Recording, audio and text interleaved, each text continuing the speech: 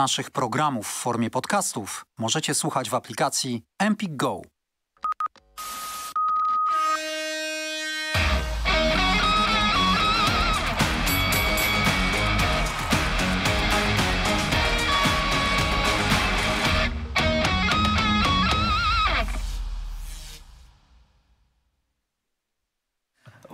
Nam się wylała, ale mamy nadzieję, że y, nie będzie to zimny prysznic dla zawodników y, Lecha Poznań. U nas deczko mokro na stole, to za chwilę sobie ogarniemy, a z nami w studiu Marcin Żewłakow. Dzień dobry. Jest Marcin serdecznie. Panowie, zimny prysznic, czy, czy jednak nie? No, może być zimny prysznic, bo dla mnie drużyna Karabacha pokazała mimo wszystko i umiejętności, i lekkość w grze. I wydaje mi się, że to oblicze tego zespołu w, przed własną publicznością będzie dużo bardziej groźniejsze, inaczej, dużo bardziej skuteczne. Natomiast jeśli chodzi o Lecha, no to minimum wykonane. Natomiast nie wiem, czy to 1-0 jest, możemy to po piłkarsku nazywać zaliczką. Wydaje mi się, że to jest takie takie minimum, które pozwoliło e, Lechowi uniknąć jakiejś takiej nieprzyjemnej atmosfery wokół siebie przed rewanżem. Rzeczywiście, jeśli chodzi o atmosferę, jeśli chodzi o podejście, nie mają, nie mają problemu, ale zmierzą się chyba z drużyną, która będzie jeszcze bardziej, jeszcze bardziej nakręcona i biorąc pod uwagę, że ten mecz będzie rozgrywany o tej porze roku tam, mhm też trzeba będzie troszeczkę powalczyć i z pogodą, i z warunkami atmosferycznymi. No mam wrażenie, że ta zaliczka jest minimalna, tak jak, tak jak Marcin mówi, natomiast ona by e, jakby wystarczyła na 90 minut, natomiast na 180 minut rywalizacji mam wrażenie, że ten jeden gol nie wystarczy, bo, bo Karabach pokazał wyższą kulturę gry, no dużo takich prostych aspektów piłkarskich.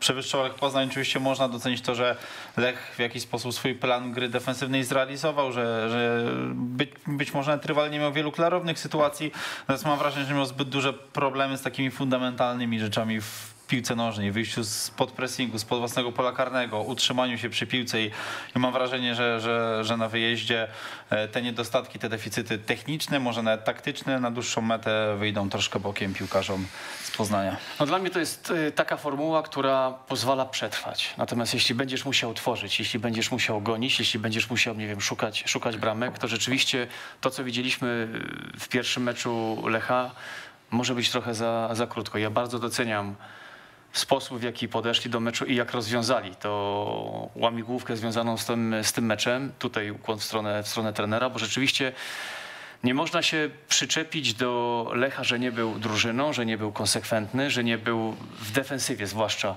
drużyną, e, która ustrzegła się jakichś wielkich, e, wielkich błędów. I to dla mnie było fundamentem dla, dla, tej, dla tej wygranej. Natomiast mecz e, rewanżowy dla mnie to jest zupełnie coś innego i tutaj znak równości nie możemy położyć między pierwszym a, drugim spotkaniem chociażby z tego, co powiedziałem wcześniej. Warunki atmosferyczne. Tam ja przez dwa lata biegałem za piłką na, na Cyprze i rzeczywiście lipiec, sierpień, tego się trzeba nauczyć. Tam jest zupełnie inne powietrze, nie wiem jak z tą wilgotnością, ale ja pamiętam, kiedy my żeśmy rozgrywali mecze, e, które prowadziły, znaczy te, które miały nas doprowadzić do, do Ligi Mistrzów, to przeciwnicy potrafili umierać w butach w 25 minucie. Oby z piłkarzami Lecha nie było podobnie. Tutaj tak samo umiejętność rozłożenia sił, taka ekonomia, jeśli chodzi o bieganie, jeśli chodzi o intensywność gry, o to, kiedy oddajemy piłkę, kiedy przejmujemy inicjatywę, ona też będzie miała kluczowe znaczenie. To Kuba Rzeźniczek mówił o tym, że kiedy w barwach Karabachu walczył o awans e, do Ligi Mistrzów z Kopenhagą, no to byli zdecydowanie lepszy, gorszym zespołem, natomiast e, wygrali ze względu na to, to że mamy Kopenhaga od 60 minuty tak naprawdę Mamy umarła. punkt styku, bo ja tak samo, kiedy z Apoelem wywalczyłem e, awans do Ligi Mistrzów, to też było z Kopenhagą. I ten, e, ten mecz, który decydował, czyli mecz w Nikozji, był mecz właśnie lipcowy. I tam widać było, czy wcześniej Partizan Belgrad, czy Kopenhaga, kiedy wychodzili w garniturach uśmiechnięci. W 30 minucie meczu no, oblicze twarzy było troszeczkę inne i kilka żył się pojawiło na, na, na skroniach, kilku generalnie oddychało rękawami, więc to jest tak samo coś do, do przerobienia dla Lecha. To skoro rozmawiamy o tej atmosferze tego spotkania, o warunkach atmosferycznych, to przeniesiemy się do Baku, bo tam mamy e, Maćka Henszela, rzecznika Lecha Poznań. E, widzę, łącze pozwoliło nam e, na fajną jakość połączenia. To Maciek, powiedz nam, jak wygląda temperatura, jakie są prognozy na wieczór, jak to może wieczorem wyglądać i też w jaki sposób Lech stara się przeciwstawić tym warunkom atmosferycznym. Dzień dobry, witam. Cześć z Baku. U nas już po południu się zrobiło, bo jest po 12, u Was kilka minut po 10.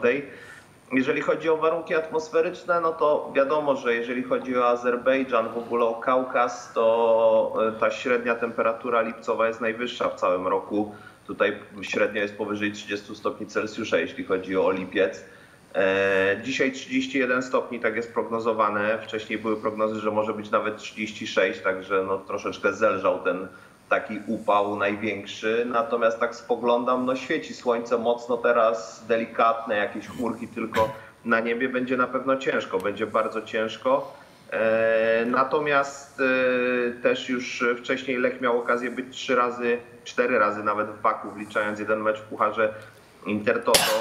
E, jeżeli chodzi o rozgrywki kwalifikacyjne czy Pucharu UEFA, czy Ligi Mistrzów, czy Ligi Europy, bo trzy razy grał w tych rozgrywkach właśnie tutaj, tutaj w Azerbejdżanie. No to mecze też odbywały się właśnie w lipcu, więc jakby już troszkę Lech ma to przerobione, jeśli chodzi właśnie o przyzwyczajanie się do takich warunków. No i też dwa razy grał na stadionie Tofika Bahramowa i ten stadion też jest tak mocno charakterystyczny, jeśli chodzi właśnie o promienie słoneczne. Mecz dzisiaj rozpoczyna się o godzinie 20 czasu lokalnego, to będzie 18 czasu polskiego. Mm, zachód słońca jest o 20.12, więc właściwie kilka minut po rozpoczęciu meczu. Natomiast wczoraj trenowaliśmy o 19 e, czasu lokalnego, czyli godzinę przed rozpoczęciem rywalizacji. Właściwie już całe boisko było zacienione, mimo że jeszcze słońce dosyć mocno operowało, to jednak schowało się za jedną z wysokich trybun stadionu i właściwie już e, nie było e, ani jednego promienia słonecznego na boisku. Całe boisko było zacienione, więc to też jest dobra informacja, bo jak pojawia się cień, to natychmiast jest troszkę lżej i, i ta temperatura od razu jest y, troszkę niższa. Także, także to, jest, to jest ta dobra wiadomość. Dzisiaj myślę, że o 20 już, już w miarę w miarę będzie można biegać i oddychać na tym boisku, chociaż no wiadomo, że piłkarze podkreślali, że ciężko, ciężko oczywiście, jeśli chodzi o tę wilgotność powietrza, o taką duchotę, skwar, który który jest, y, no to muszą się na pewno tutaj dzisiaj z tym zmierzyć. Dlatego też dzisiaj nie ma żadnego rozruchu na zewnątrz. Piłkarze mieli tylko rozciąganie w jednej z, salek, z sal w hotelu.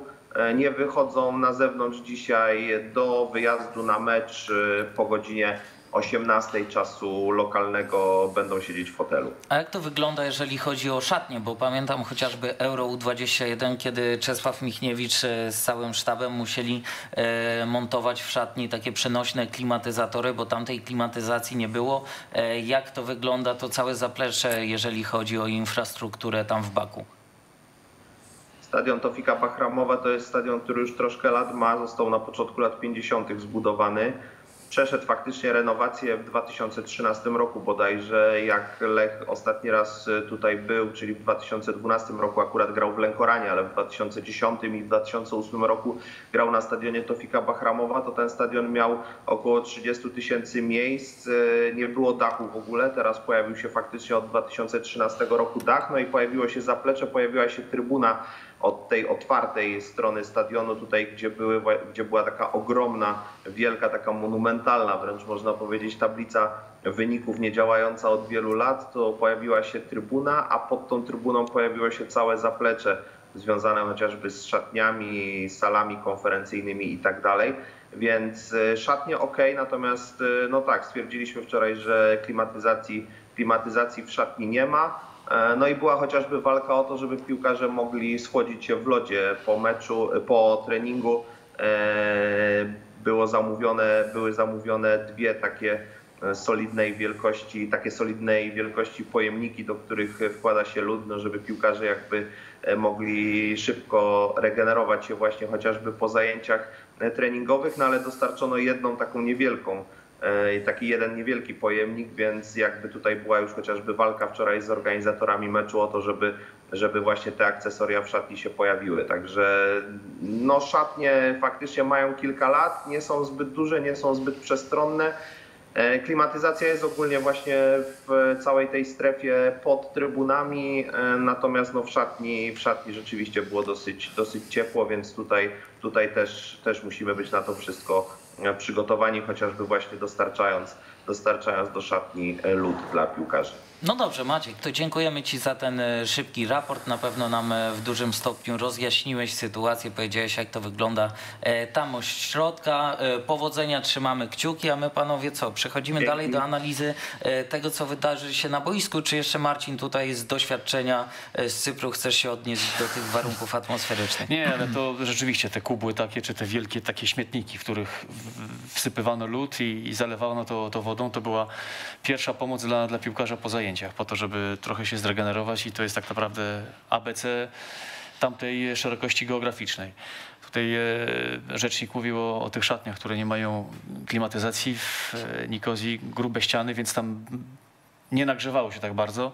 Zastanawiam się, czy nie lepiej się przebierać w autokarze, bo tam klimatyzacja, tutaj podobno ciasne te szatnie, to nie, to tak y, pół żartem, pół serio. Natomiast, żeby nie demonizować, to tak samo no, chyba trzeba powiedzieć o tym, że Lech ma kilka atutów. No, dla mnie na przykład y, Iszak i, i Amaral to jest coś, co, co może zaskoczyć, co może być tym rozwiązaniem. Mówiliśmy o tej takiej dosyć uważnej obronie, oby to zostało podtrzymane w meczu z y, Karabachem. Natomiast to połączenie Amaral, ruchliwy Amaral i przeskuteczny Isak to jest to, czego wydaje mi się Karabach nie ma. I to rzeczywiście przy oddaniu w większym e, wymiarze czasowym inicjatywy, ale przejęciu na, na krótkie momenty plus może stały fragment gry, to jest coś takiego, co, co Lechowi może dać, da, dać gola, a tutaj jeśli Lech pierwszy strzeli bramkę, to ja wtedy powiem, że jest rzeczywiście zaliczka. Na Przy czym razie... z drugiej strony, jak spojrzymy na postawę Amarala w pierwszym spotkaniu, no to trzeba przyznać, że był jednym ze słabszych zawodników e, Lecha Poznań. Sporo takiej niedokładności i miał nawet e, dużo problemów z opanowaniem piłki, kiedy już e, do niego ona dochodziła. Zgadza się, natomiast on zawsze gwarantuje pewnego rodzaju ruchliwość, E, energię i, i, i to, że jeśli nawet sam nie jest do końca przy piłce taki, jak powinien być, to potrafi stworzyć coś dla, dla samego Isaka. Jemu daje odrobinę, nie wiem, swobody, to wokół niego kręci się, kręci się kilku, kilku obrońców, a Isak może sobie znaleźć odrobinę miejsca w polu karnym. A wydaje mi się, że ten mecz dla Lecha nie będzie meczem dziesięciu sytuacji, tylko dwóch, oby, oby trzech i tam trzeba coś coś ustrzelić. No ruchliwość tych ofensywnych piłkarzy jest pewnie istotna, natomiast ja chyba się będę upierał przy tym, że najważniejsze będzie to, by umieć utrzymać się przy piłce, bo utrzymanie się przy piłce to jest coraz troszkę kradzież czasu i, i kiedy my mamy piłkę, nie ma jej przeciwnika. Dwa, pewnie też z piłką przy nodze może sobie tro, troszkę drużyna odpocząć i tutaj bym chyba największe pokłady nadziei miał w piłkarzach drugiej linii, czy też w obrońcach, którzy po prostu będą mogli wymienić piłkę i, i żeby troszeczkę tego czasu To tu oszczędzić. Marcin będziemy, ja się do końca nie zgodzę, jeśli utrzymywać piłkę, to na połowie przeciwnika. No to w ogóle bo... najlepiej by było pod polem karnym a, przeciwnika. A nie rozgrywanie u siebie. Ja... Znaczy ja nie mówię, że to musi polegać na tym, żeby środkowy obrońca podawał do środkowego obrońcy i tak między sobą pykali, bo to jest oczywiście a wykonalne, bo pewnie czas będzie naglił gospodarzy Też i będą chcieli siadać pod pressingiem. tym pressingiem, jakim mieliśmy problem z wyjściem z własnej Natomiast połowy w pierwszej połowie. Chodzi mi właśnie o to, że, że, że, było wiele momentów w pierwszym meczu, kiedy jak przejmował piłkę i mógł się przy tej piłce troszeczkę utrzymać, troszeczkę odetchnąć, e, doprowadzić do tego, by zawodnicy ustawili się na swoich pozycjach, a często bardzo szybko ją tracił. Tracił ją w okolicy pola karnego i po prostu moim zdaniem to powinno być wymaganie trenera, e, by, by ten Lech potrafił troszeczkę dzisiaj poszanować piłkę. No porównując trochę kulturę gry i taką swobodę w operowaniu piłką, to tu wydaje mi się to będzie bardzo ciężkie do, no, do wykonania. Że tu jednak tego świadom. nastawieni bardziej na 60 inaczej, 55 cierpienie, 45 mam nadzieję, że coś kreatywnego. Słuchajcie, włączy się teraz do nas do rozmowy Łukasz e, Trałka. Łukasz, e, który e, zawsze ma sporo informacji z szatni Lecha. Nie wszystkie pewnie może nam tutaj przekazać, ale twoim zdaniem, z twojej wiedzy, jakie są w tej chwili nastroje, jeżeli chodzi o Lecha? Jakie będzie podejście do tego spotkania? Tak, na dzień dobry, dzień dobry. Witam was wszystkich. E, muszę wlać trochę takiego optymizmu, bo oglądam od początku i gorąco, nie ma lodu, nie utrzymamy się przy piłce. Nie mam, ogólnie jednym słowem y, niepotrzebnie chyba pojechaliśmy.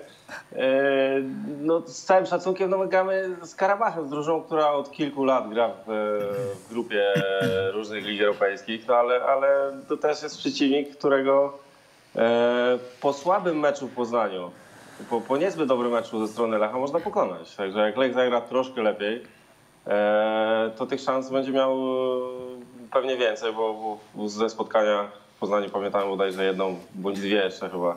Tam Szymczak Filip miał e, sytuację. Nie było tego za dużo. Jak zagrają trochę lepiej, a, a mając informacje z, z pierwszego meczu, co trzeba poprawić, w których fragmentach musimy zagrać lepiej. Tutaj jak rozmawialiście przez chwilę, że tą piłkę trzeba, trzeba trochę więcej utrzymać, no trzeba, bo tych, tych, tych prostych strat, strat po odbiorze, bo tych odbiorów było dużo z racji tego, że oni grali atakiem pozycyjnym, prostych strat było aż za dużo.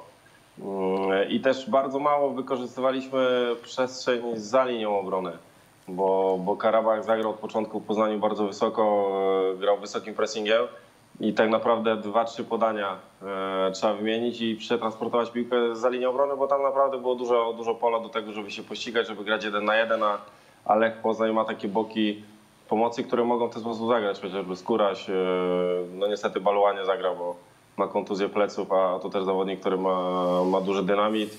Jest Citejszwili, który w, tego, w tym meczu z Rakowem, nie wy, jak, jak patrzymy na całość, to to był wyróżniającą się postacią e, z, po stronie Lecha, także pewnie on, on wyjdzie od początku. E, A, a no to tak, takie wiesz, nastroje pozytywniejsze, a jeśli chodzi o nastroje wśród piłkarzy Lecha, wśród y, zawodników, no, są okej, są okej. Też wiedzą, że, że poprzeczka jest wysoko za, zawieszona, ale, ale to nie jest aż tak wysoko, żeby nie można było jej przeskoczyć. Pamiętam tutaj po pierwszym spotkaniu z Kowalem i Smokiem rozmawialiśmy o tej defensywnej postawie Lecha w e, pierwszym spotkaniu, w pierwszej połowie tego meczu. E, I ja tak e, gdzieś rzuciłem tezę, że to w sumie było zaplanowane, że Lech jednak cofnął się, ale z drugiej strony no, nie dopuszczał do takich klarownych sytuacji, bo mieliśmy jedną sytuację z Ubira. Oczywiście ona była dobra, ale w linii strzału tak naprawdę już mieliśmy kolejnego zawodnika Lecha Poznań. Jak ty widziałeś tę pierwszą połowę, bo ona często jest różnie odbierana. U nas e, często mówi się, że jeżeli nie masz piłki, to grasz słabo, ale z drugiej strony może taki był pomysł na ten mecz. Taki pomysł był, oczywiście. Nie, Lech nie chciał zagrać na wymianę czasu, bo wydaje mi się jakościowo, chociażby tak jak rozmawiam o Zubirze, to zawodnik, który e, jeden na jeden nie ma, nie ma żadnego problemu, żeby ograć, ograć przeciwnika i, i tutaj też trzeba się mocno skupić. Po analizie Karabachu uznali, trenerzy uznali, że, że warto tutaj zagrać bardziej defensywnie, uderzyć próbować uderzyć e, z kontrataku. No, wiesz, najważniejszy, najważniejszym celem jest przejść Karabach. Czy to będzie w pięknym graniu, czy, czy trochę, trochę w bólach, to trzeba to po prostu przejść. Jak Atletico Madryt przechodzi do, do finału Ligi Mistrzów e, niejednokrotnie, grając defensywnie, to tam nikt nie, nie ma ludzi w Madrycie, wszyscy się cieszą. Także tutaj wiesz, to, to pierwszą rundę... Łukasz, mówimy o finale Ligi. Mistrzów. Wiesz, no, ale też o Atletico Madryt, a nie o Lechu.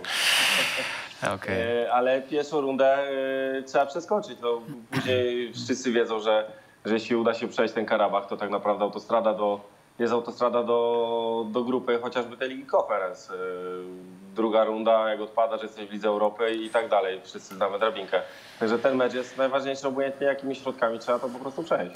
Biorąc pod uwagę skład Lecha, twoim zdaniem znowu zobaczymy takich e, dwóch e, bocznych pomocników, którzy grają troszkę bardziej defensywnie, albo inaczej, może nie tyle grają bardziej defensywnie, co po prostu w tej defensywie radzą sobie lepiej, czyli Skóraś i Welde. Eee, Wiesz co, nie, nie, jeśli ja miałbym obstawiać, to pewnie Skóraś i, i jednak Citejszwili. Tak mi się wydaje, a Welde na, na, na wejście. Nie wiem, pojęcia, czy tak się wydarzy, ale ja bym zagrał Citejszwili, bo, bo zagrał po prostu lepszy mecz. Welde, tak jak mówiłeś, trochę więcej pracował w defensywie, natomiast w ofensywie e, nic nie dał i tak czysto piłkarsko, jeden na jeden, bo tutaj tych, tych pojedynków też musimy trochę wygrać, żeby coś kreować, to Citejszwili jest lepszym zawodnikiem. Okej, a e, powiedz mi, jeżeli chodzi o Zubira, no z nim e, musiał radzić sobie także Welde, e, a również przede wszystkim Pereira. Twoim zdaniem, co musi Lech zrobić, żeby tego zawodnika tym razem powstrzymać? Bo na przykład z drugiej strony, jak patrzymy, no to bardzo dobrze udało się to z, ze strony Rebocza, a także z Kurasia, kiedy oni radzili sobie kapitalnie z tym najlepszym strzelcem, najlepszym asystentem poprzedniego sezonu, a więc Kadim.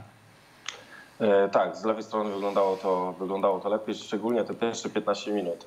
Zubir był mocno rozpędzony, cały czas grał jeden na jeden i tutaj myślę, że musi być trochę większa asykuracja ze strony szóstki. Gram na, na dwie, dwie szóstki, gra, gra Muraś i Karlstrom. Jeden z nich musiał trochę, będzie musiał trochę bardziej pomagać e, z tej strony i tutaj na pewno ten początek będzie mocny. E, Jeśli tutaj na początku zderzy, zderzy się, jak się mówi kolokwialnie, ze ścianą, to taki, takich zapędów ofensywnych, e, tak dużej wiary w jeden na jeden nie będzie miał. Natomiast jeśli wyjdą mu dwie, trzy, cztery pierwsze sytuacje, ogra, ogra Pereira, no to wiadomo, że, że będzie bardzo ciężko. No tutaj na pewno było to analizowane i ta asykuracja musi być e, większa. Natomiast wracając do tego poprze- poprzedniego pytania, no tak jak powiedziałeś, no, Karabach miał dużo więcej sytuacji, e, utrzymał się przy piłce, natomiast e, stuprocentowych sytuacji nie miał. Miał kilka sytuacji z, z 16 metra, e, w których próbował chociażby Richard e, uderzać, natomiast e, takich stuprocentowych nie, nie, nie wykreowali. Jaki jest twój typ na to spotkanie? Szybciutko o- o 1-1. No i dobrze, dziękujemy bardzo. Łukasz Trampka był z nami. Chłopaki, idźcie tą drogą. Jak najbardziej. My na koniec będziemy typować. Dobra, dzięki. Trzymaj się, pozdrawiamy, dzięki.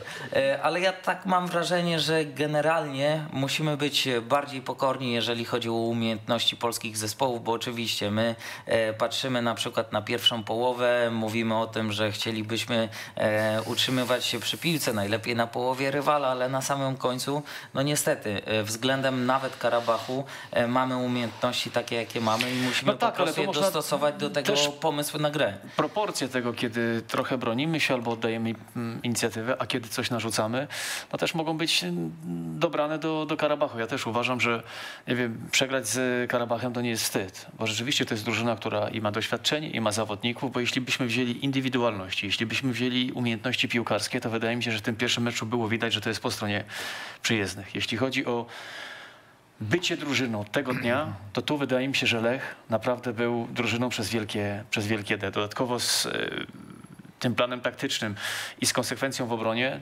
to się przełożyło na, na, jeden, na jeden do zera. Natomiast ten drugi mecz będzie miał zupełnie inne oblicze. I ja nie chcę się za dużo opierać o to, co widzieliśmy w pierwszym meczu, bo ja też w sytuacji, kiedy Karabach strzeli szybko bramkę, no to widzę Lecha w wielkich problemach. Rozpędzonego Karabacha, który, który nabiera cały czas dynamiki, cały czas podbija intensywność i tu zaczynają się problemy. Ja, dla mnie już pierwszym takim dobrym krokiem albo małym sukcesem będzie niedoprowadzenie do tego, że w 20 minucie no czuć, że Karabach jest rozpędzony, że gra im się wygodnie, że grają to, co chcą.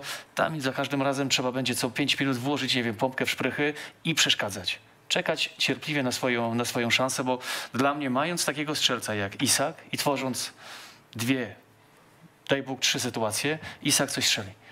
Więc ja tutaj postawiłbym mimo wszystko na to, żeby grać bardzo konsekwentnie i bezbłędnie w obronie i cierpliwie czekać na, na tą, na tą e, pierwszą czy drugą sytuację, bo no, Lech tak samo ma umiejętności do tego, żeby do tego doprowadzić. No i ma tego strzelca, który, no, który się nie waha i który zazwyczaj trafia do siatki.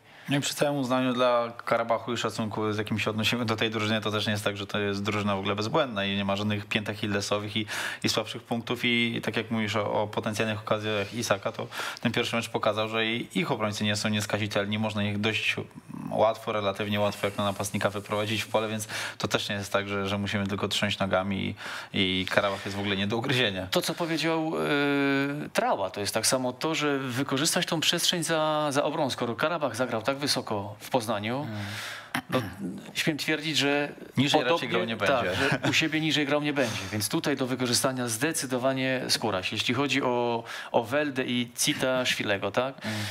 Ja bym się przychylił do tego, co mówił Łukasz. Też wykorzystałbym e, dyspozycję ostatnich dwóch, dwóch, trzech dni, czy to wrażenie po ostatnim meczu Lecha, Lecha Poznań, bo Welde widać, że on ma umiejętności, ale dla mnie on tak jakby boi się, jeszcze nie wykluł nam się do końca, boi się to wszystko sprzedać na meczu, nie zastanawiając się, co będzie, jak mi nie wyjdzie. Taki jest jeszcze troszeczkę zblokowany. Jeśli rzeczywiście Citaszwili w tym ostatnim meczu, nie widziałem tego ostatniego meczu, mówimy o Superpucharze Mhm. pewne, pewnie, yy, grał i prezentował się nieźle, to mimo wszystko ja tak samo trochę wykorzystałbym to i, i poszedł za tym takim niepisanym prawem szatni. Ostatni mecz decyduje o tym, czy, czy jesteś w składzie, czy nie. Ale też e, pamiętamy, jak grał Citajszwili w e, spotkaniach poprzedniego sezonu w Wiśle Kraków. To był jednak zawodnik, który dobrze czuje się z piłką przy nodze i potrafi tę piłkę utrzymać, mimo że gra na skrzydle. I to może być też e, To, co Marcin chce, to czego ja bym tak samo chciał, wydaje mi się, że to jest taki element, który Bo tego też w to albo meczu. wyzwoli troszeczkę w Lechu. Bo rzeczywiście, no, wydaje mi się, że grając u siebie, no, sprowadzenie pewnych rzeczy do 50 na 50 no, dla mistrza Polski jest pewnego rodzaju obowiązkiem. Ale też na pewno trzeba szukać okazji do tego, by piłkarze ofensywni wchodzili w pojedynki, bo można z dość, dużą, do, dość dużym prawdopodobieństwem założyć, że jeżeli Lech będzie wychodził spod własnej bramki na połowę przeciwnika, to raczej rywal nie będzie miał jakiejś wielkiej przewagi liczebnej. Raczej to Karabach będzie grał wysoko, więc jeżeli Lech będzie ruszał z kontrą, to pewnie te proporcje obrońców Karabachu do piłkarzy atakujących Lecha będą mniej więcej wyrównane, więc szukać pojedynków i, i możliwie te pojedynki wygrywać. Ostatnie zdanie, nie wiem, czy jeszcze będziemy o tym mówić, ale dla mnie tak samo w tym meczu styl nie jest ważny. Jak będzie awans, to ja tutaj przymknę oko na, na styl, na, to, na liczbę sytuacji, na to, czy utrzymywaliśmy się przy piłce. Dla mnie tak samo ja remis z Karabachem biorę w ciemno. Tak, to ja pod tym w 100% się podpisuję, bo naprawdę czasem za dużo mówimy o stylu, a za mało o tym, że po prostu do tej fazy grupowej jakoś e, Ale my też trochę dojść. jako, jako mm, kibice polskich drużyn też mamy w sobie trochę takiego obserwatora piłki nożnej. Chcielibyśmy, żeby ten nasz przedstawiciel też przez kilka minut zaprezentował pewne rzeczy, o których mówisz, a to jest futbol. Rzeczywiście, że mistrz Polski potrafił też w konfrontacji z innym mistrzem zaprezentować to oblicze, które wielokrotnie pokazywał w naszej, w naszej ekstraklasie. Zerkniemy sobie też e, na skład e, Karabachu, bo tutaj raczej nie będzie wielkich zaskoczeń. Spodziewamy się tego, że Ozobić e, wróci do pierwszej jedenastki, bo to e, była taka postać, która usiadła na ławce rezerwowych w ostatnim meczu, natomiast e, wydawało nam się, że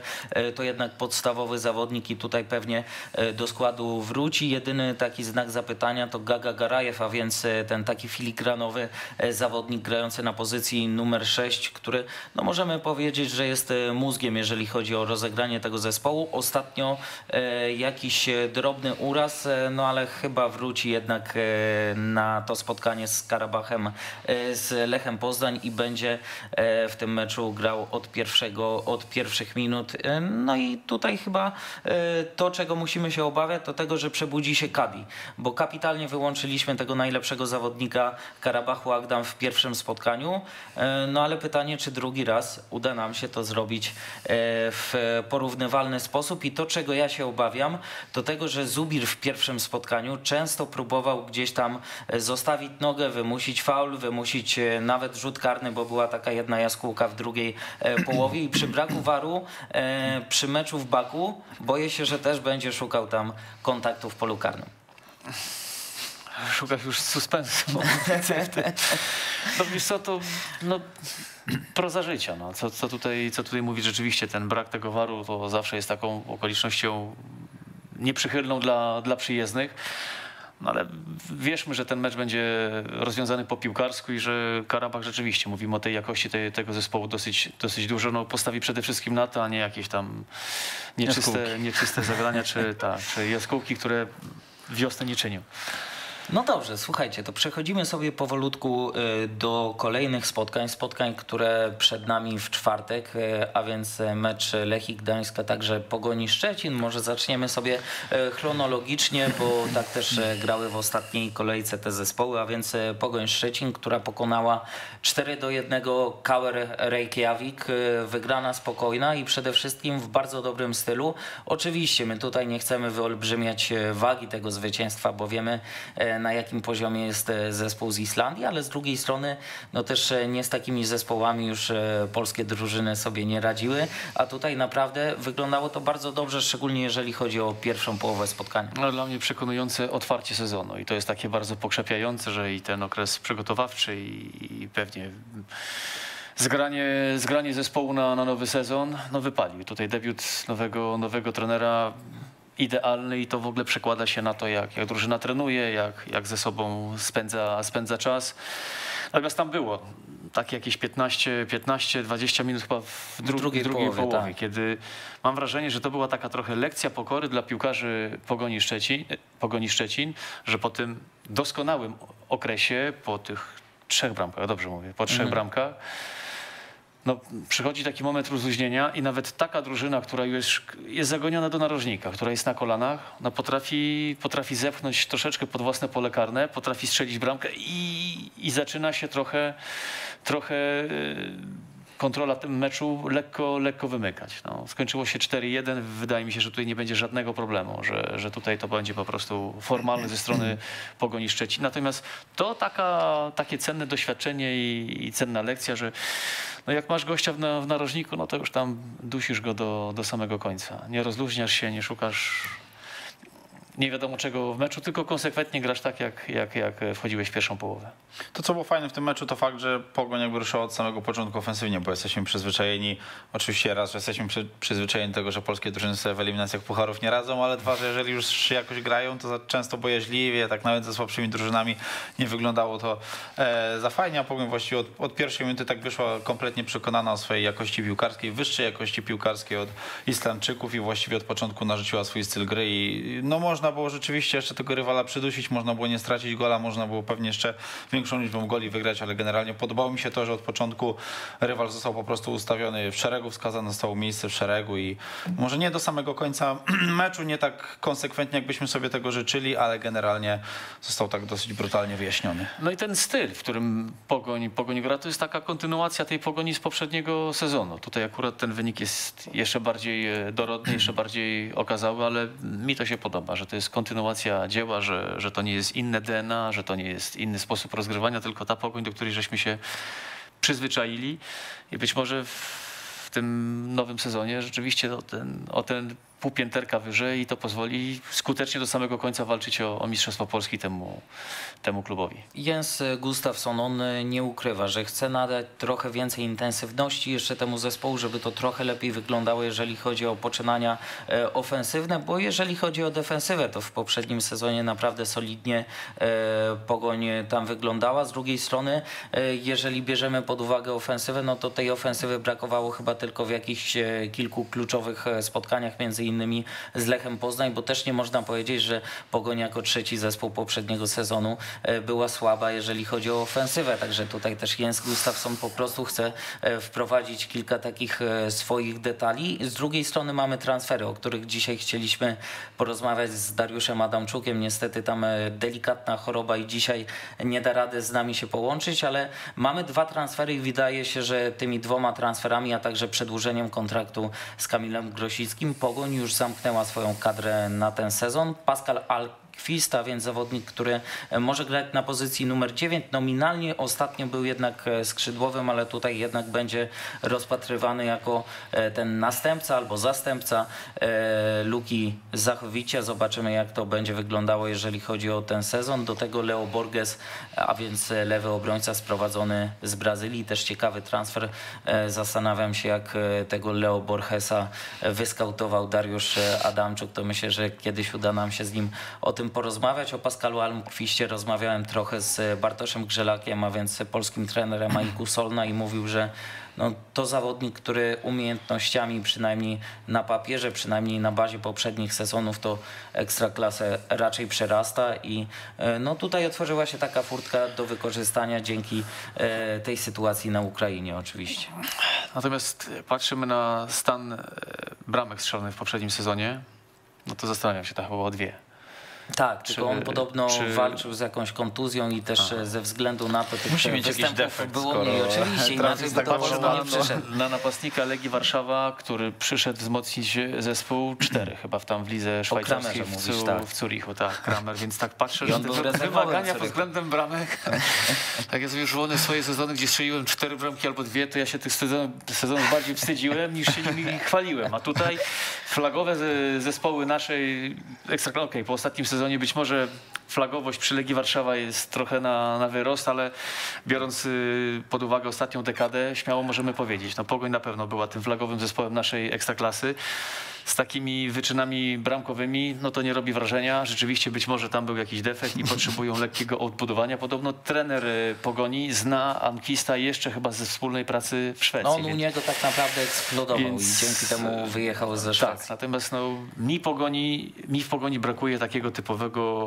golgetera. I nawet Luka Zachowicz, który miał dwucyfrową liczbę bramek po ostatnim sezonie, też dla mnie bardziej jest tym spryciarzem pola karnego, takim, który z kurzu strzeli bramkę, niż tym napastnikiem, który, no tak jak Isak, czy tak jak, nie wiem, e, w poprzednim, nie, dwa sezony do tego, Peckhardt w Legii, czy końcówka ostatniego sezonu Peckhardt w Legii, no dawał gwarancję, że, że jeden gol tam na, na dwa mecze zazwyczaj, zaz- zaz- zazwyczaj wpada, więc zastanawiam się, jak trener e, Pogoni sobie z tym, z tym poradzi. To jeśli mógłbym się lekko tam do, doczepiać, to, to właśnie tego, brakuje mi tego golgetera, chociaż Luka Zachowicz zaczął nieźle. Strzelił tą swoją w takim swoim stylu bramkę i jak będzie strzelał takie bramki, to zamykam usta, pochylam głowę i, i biję brawo dla Pogoni Szczecin. Z drugiej strony, jak spojrzymy na kolejnego napastnika z poprzedniego sezonu, a więc e, Piotra Parzyszka, który już e, z Pogoni odszedł, jedna bramka przez cały sezon, no to też e, nie jest rewelacyjny wynik.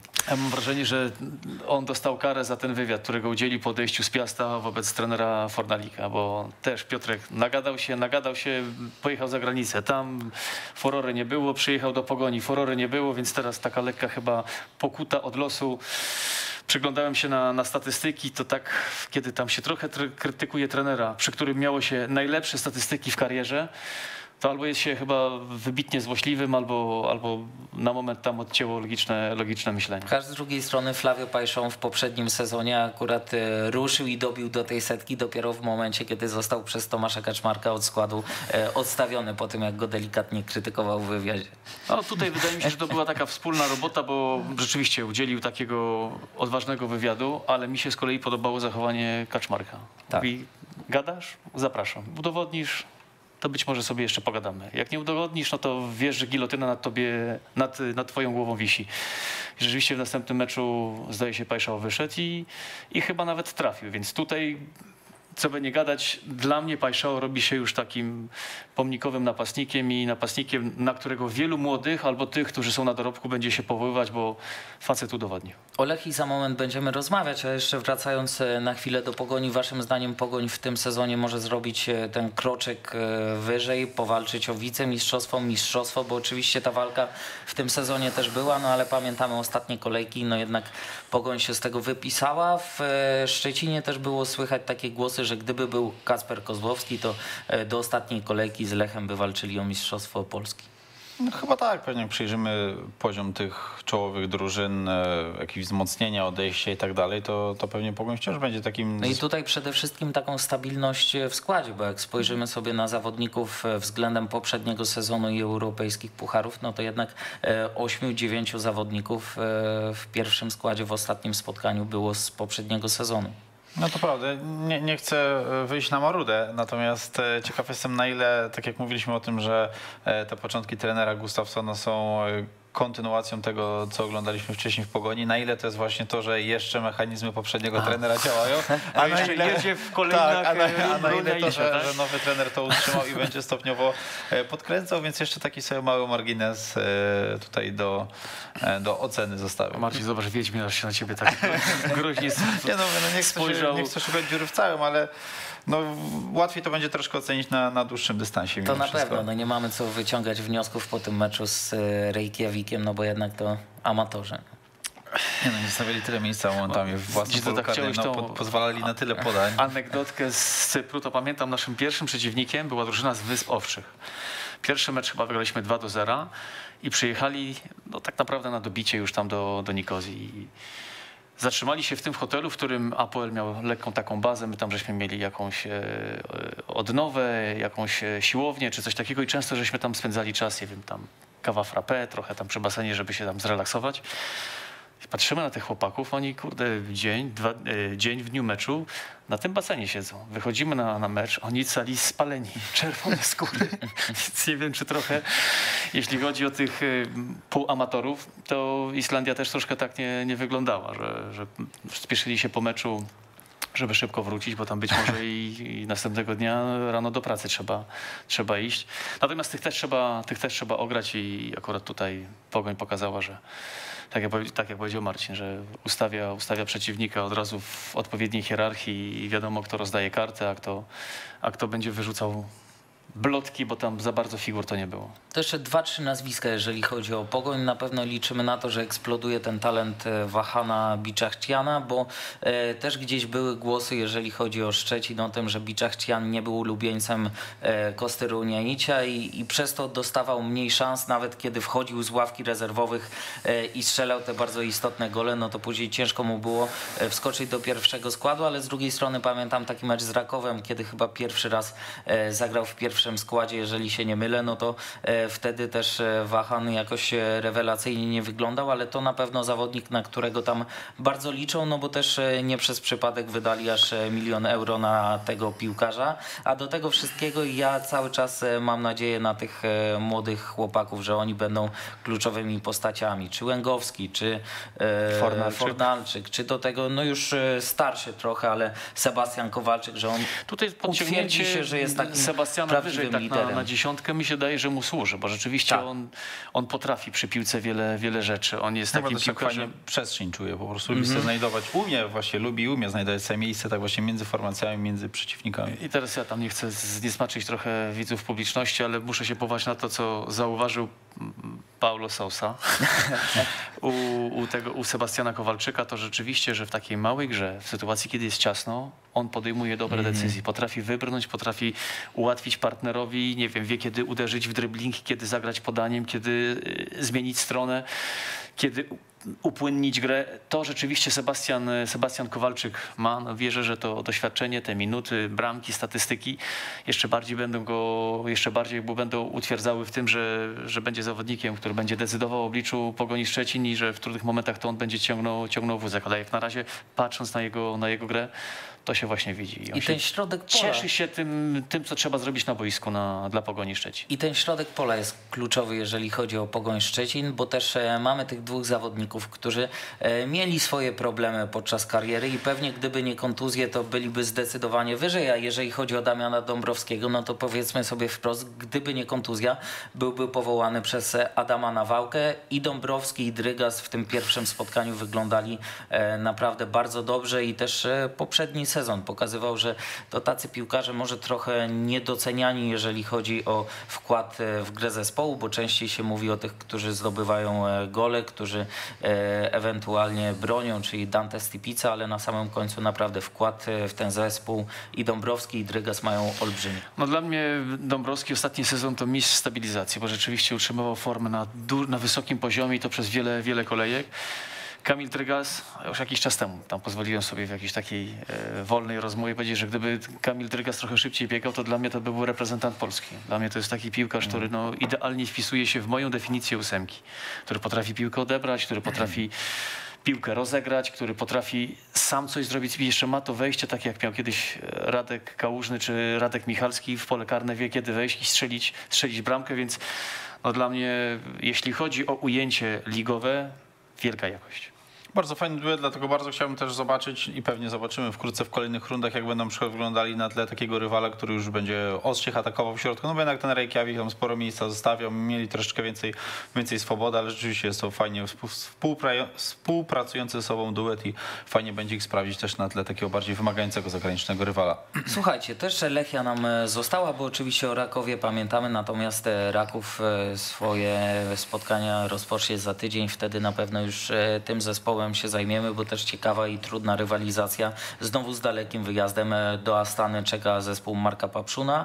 E, Lechia Gdańsk, ona będzie grała z Akademią Pandew. E, znowu zwycięstwo 4 do 1, podobnie jak w przypadku Pogoni Szczecin. Znowu wydaje się, że będziemy mieli tutaj formalność do dopełnienia, ale tak jak przed spotkaniem rozmawialiśmy, przed tym naszym programem, no to jednak ten mecz w Gdańsku był taki, jakiego spodziewał się tutaj pan Czekumbę w e, przed tygodniem, kiedy rozmawialiśmy przed tym spotkaniem, że e, no, Akademia, ona się nie będzie cofała, ona nie będzie murowała, tylko będzie chciała grać w piłkę i przez to też łatwiej się grało w tym spotkaniu podopiecznym Tomasza Kaczmarka. No, wbrew wynikowi ten mecz, e, nie wiem czy to 4 do 1 dokładnie odzwierciedla przebieg spotkania, bo tak jak mówisz, i Akademia Pandew miała swoje sytuacje i atakowała wysokim, nawet nieźle skoordynowanym pressingiem, natomiast problemy pojawiały się, kiedy ten pressing bywał, bywał już ominięty, bo rzeczywiście ci obrońcy troszeczkę miałem wrażenie tacy niezbyt zwrotni, może troszkę e, kołkowaci, ale no, całkiem przyjemne, całkiem przyjemne po sobie wrażenie zostawił zespół z Macedonii. Stworzył sobie sporo sytuacji. Niektóre te sytuacje to były takie strzały spoza, spoza,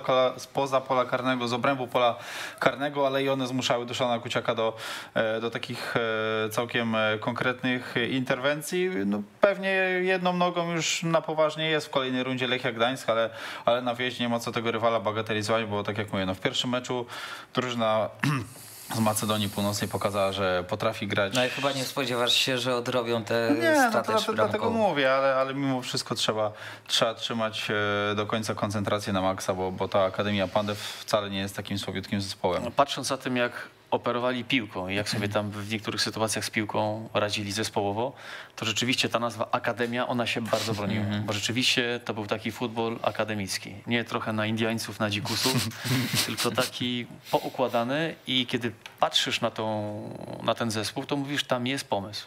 Rzeczywiście młody, młody, młody twór, więc pewnie doświadczenie będzie zbierane. To też jest pewnie zaciąg tych chłopaków, których wskaże Goran no, no, i, bardzo niska i jego... też średnia wieku w tym Dokładnie, zespole. więc tutaj, ale takie było widać, że rzeczywiście przeciągnięcie przez ten taki macedoński uniwersytet piłkarski, to tam jeden czy drugi może wybić do, do lepszego klubu, bo piłka nie przeszkadza i pewna kultura gry jest, jest na odpowiednim poziomie. Zobaczymy też, jaka będzie przyszłość e, tego klubu, bo Pancze tutaj nam mówił, że Goran coraz częściej myśli o tym, żeby z klubu się e, wycofać. Były jakieś plotki o e, połączeniu z Bełasicą, Strumicą, a więc takim tak naprawdę pierwszym klubem w tym mieście, który ma zdecydowanie zdecydowanie więcej kibiców.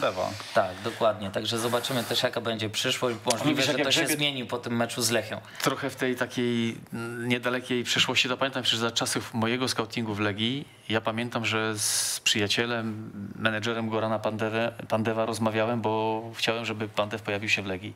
I wtedy już Goran Pandew myślał, że jeśli przyjdzie do, do Legii, to chciałby Akademię Pantew jakoś połączyć w mhm. jakąś taką naprawdę prawdziwą kolaborację z, Legii, z Legią Warszawa, więc Teraz jak mi mówi, że Goran Pandew chce z Akademii Pandew e, wyskakiwać, to trochę mi się to kłóci, ale czas pokaże, jak to No zobaczę, Pancze na pewno ma dobre informacje, bo on też mówił nam, że z Goranem cały czas e, w kontakcie jest, także zobaczymy, ewentualnie Adriana Benedyczaka, zobaczymy jak e, zapytamy w Polakach pod lupą, jak wygląda sytuacja u Gorana, bo cały czas grają razem w Parmie, ale wracając do Lechii, zwróciliśmy też uwagę w tym pierwszym spotkaniu, a także słyszałem, że bardzo dobrze wygląda wyglądał e, w spotkaniach sparingowych e, Kałuziński i to może być e, taki jego sezon. Liczę, że na pewno w tym sezonie gdzieś ta jego forma eksploduje. No, przyjemnie się go ogląda, bo z piłką to jest taki zawodnik dosyć elegancki, taki dystyngowany na boisku, ale też dużo, dużo pożytecznej pracy wykonał w tym spotkaniu w defensywie, kilka fajnych przechwytów. Też chyba ta trzecia akcja bramkowa rozpoczęta od tego, że dostał piłkę już przyjęciem sobie minął przeciwnika, co jest jednak dość rzadko spotykane na polskich boiskach, zwłaszcza u młodych piłkarzy. No gra odważnie, wychodzi po piłkę, jest niezły, niezły technicznie, ma fajny przegląd pola, do tego tak jak mówię, te warunki fizyczne i taką agresję, doskok wykorzystuje w defensywie, więc taki piłkarz chyba, którego warto obserwować. Taki też, e, nie mamy też wielu piłkarzy, mam wrażenie, o takim profilu, właśnie o, takim, takim stylu gry, właśnie taki wysoki, e, ładnie się poruszający po boisku, więc to też jest e, kolejne punkty za estetykę. No ja skupię się na skuteczności, bo Lechia była taką drużyną, która potrafiła trochę zamknąć drogę do, do własnej bramki. Natomiast ta płynność czasami była, czasami była mniejsza, czasami było troszeczkę przestojów. Ten mecz pokazał, że że potrafi stworzyć kilka sytuacji, w większości je wykorzystać i to w pięknym stylu. No, zadziwia Flavio Paixao. Im, Im starszy, tym, tym, bardziej, tym bardziej skuteczny tego, że życzymy rozgość się jeszcze bardziej Flavio i, i strzelaj sobie na, dla siebie, dla Lechi i dla, dla, naszej, dla naszej ekstraklasy. Zobaczymy, jak to będzie wyglądało w e, kolejnej rundzie, do której no, nie wyobrażamy sobie, że Lechia nie wejdzie. Tam będzie mierzyła się z Rapidem Wiedeń. Zobaczymy, czy przy pustych trybunach, czy przy trzech trybunach, jaka będzie kara od UEFA za to zachowanie e, kibiców, bo to postępowanie się e, już rozpoczęło. Bierzemy też pod uwagę to, jak będzie Lechia wyglądała pod no, skrzydłami nowych właścicieli. Pytanie, czy Saudyjczycy też gdzieś nie wystraszyli się tych wydarzeń, które oglądaliśmy na stadionie w Gdańsku, e, no bo to też w jakiś sposób cały czas hamuje ruchy transferowe, hamuje ten transfer ewentualny z Wolińskiego, chociaż tam też mówi się, że no ta, to zamieszanie z właścicielami to jedno, ale z drugiej strony po prostu klub nie będzie chciał puścić z Wolińskiego, biorąc pod uwagę to, jak jest istotnym zawodnikiem dla e, zespołu Lechii Gdańsk. No a poza tym no gdzieś tych transferów do klubu siłą rzeczy nie ma. Za mało wiemy, żeby się konkretnie na te tematy wypowiadać. To będą znowu dywagacje, tylko zastanawiam się, czy to sens, żebyśmy tutaj mnożyli dywagacje, skoro, skoro nie, wam, nie, nie wiemy o co, o co biega. Ja też nie chcę się tam za bardzo wymądrzeć albo trochę na, na ten szwank wy, wywalać, bo można mączkować, a tak naprawdę nie wie się kluczowej, kluczowej rzeczy, więc ja tutaj się wstrzymuję od komentarza, obserwuję. Natomiast to, to pierwsze wrażenie po meczu z Akademią, no szkoda by było, żeby ta dynamika została jakoś niepotrzebnie wstrzymana czy, czy, czy totalnie zahamowana. No trudno, trudno cokolwiek powiedzieć. No, nie, nie wiemy, jak się skończy to postępowanie UEFA, nie wiemy, jaki to ma wpływ na, na decyzję potencjalnych inwestorów, więc nam chyba pozostaje tylko czekać. No dobrze, to na koniec e, wracając e, do tego, co wydarzy się dzisiaj wieczorem, jakiego spotkania się spodziewacie, jaki wynik typujecie? Ja się, ja też spodziewam się remisu. Natomiast ja uważam, że Lech będzie trochę bardziej cierpiał niż, niż decydował o tym, jak ten, jak ten mecz będzie wyglądał, chociaż mnie ten scenariusz nie, nie przeraża i wydaje mi się, że i, i trener, i zawodnicy są na to gotowi. Inny scenariusz będzie dla mnie. Czyli powtórka miłym. z pierwszej połowy z poprzedniego spotkania. Tak, tak, tak, tak. tak. I inny scenariusz, bardziej odważny Lech dla mnie będzie przesympatyczną niespodzianką. No dla mnie też będzie przesympatyczną niespodzianką, ale nie wiem czemu, ale mam takie, déjà vu to za duże, za duże słowo, ale pamiętam tak, tak ten, ten dwumecz słynny Wisły Kraków z Apelem, Nikozja, jakoś tak mi się on bardzo podobnie kojarzy, więc idąc tym tropem postawię 3-1 dla Karabachu, ale bardzo chciałbym się miło zaskoczyć. No to ode mnie też e, remis, niech będzie bardziej optymistycznie, no ale e, wtedy to było chyba e, tutaj 1-0 po mhm. golu Patryka Małeckiego, Małeckiego. tam było 1-1, strzelił było, nie, Wilk. tam było chyba 0-2, Wilk strzelił chyba na Ta, 1 do 2 na 1 do 2 i na 3 do 1 ten w Ailton, czasie tak, gry, tak. ten Portugalczyk czy Brazylijczyk. Tak, tak bardzo nieprzyjemny mecz, który kumuluje te wszystkie teorie o tym, że jest gorąco, że fanatyczna publika i tak dalej. Strasznie pamiętam, w sensie cierpiało się przed telewizorem razem z piłkarzami Wisły Kraków. Sprowadziło się chyba do tam jednej minuty i kilku, kilku sekund od upragnionego awansu, tak? tak no, no zabrakło z minuty, dwie oka pewnie. Okazało się, tak. że ta minuta... Po 80 minuty chyba strzelił Czarek Wilk.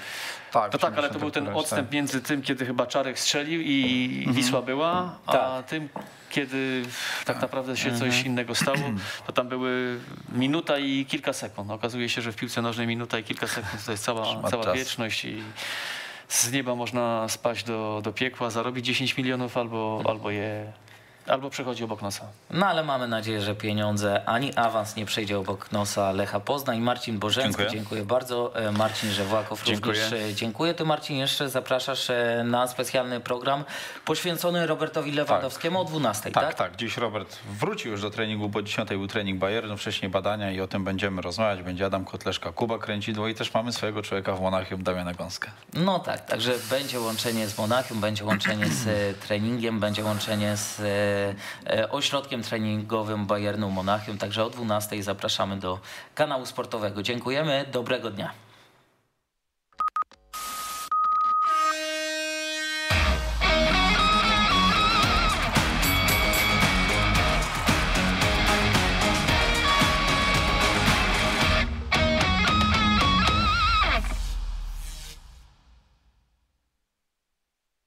Naszych programów w formie podcastów możecie słuchać w aplikacji Empik Go.